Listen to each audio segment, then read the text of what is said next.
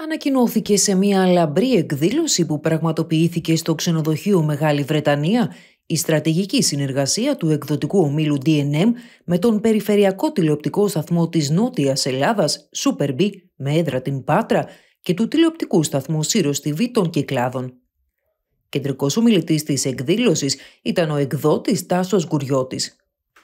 Σύντομο χαιρετισμό απίφθηναν ο βουλευτής Ανατολικής Αττικής της Ελληνικής Λύσης Αντώνης Μιλονάκη, ο ανεξάρτητος βουλευτής Α Αθηνών και πρόεδρος του κόμματος Πατρίδα Κωνσταντίνος Μπογδάνος, ο πρώην Υπουργός Νίκος Νικολόπουλος, ο πρώην Υπουργός Πάνος Παναγιοτόπουλος και ο πρώην βουλευτής και δημοσιογράφος Αργύρης Δινόπουλος. Το παρόν στην εκδήλωση έδωσαν επίσης ο πρώην Υπουργός Σάβα Τσετουρίδη, ο πρώην κυβερνητικός εκπρόσωπος στην κυβέρνηση του Κώστα Καραμαλή Ευάγγελος Αντώναρος, ο πρώην βουλευτής και αντιπρόεδρος της Βουλής Δημήτρης Καμένος, ο πρώην Ευρωβουλευτής Νότης Μαριάς, ο πρόεδρος του κόμματος Εθνικό Μέτωπο Εμμανουήλ Κόνστας και ο πρώην γραμματέας πολιτικού σχεδιασμού και προγράμματος της Νέας Δημοκρατίας Νίκος Καραχάλιος.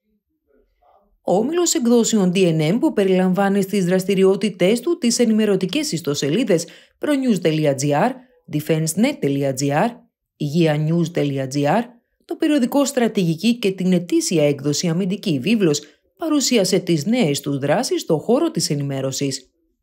Εκτός της ανακοίνωσης στρατηγικής συνεργασίας με το Super και το Siros TV, ανακοινώθηκε η επέκταση των δραστηριοτήτων του ομίλου στο εξωτερικό με τη δημιουργία ειδησιογραφικών πρακτορείων στο χώρο της άμυνας, της ασφάλειας και της αμυντικής βιομηχανίας. Τέλος, ο εκδοτικός όμιλος DNM Group συνεργάζεται με τις εφημερίδες Ελεύθερος Τύπος και Τύπος της Κυριακής που αφορά την παραγωγή ενθέτων και περιοδικών εκδόσεων.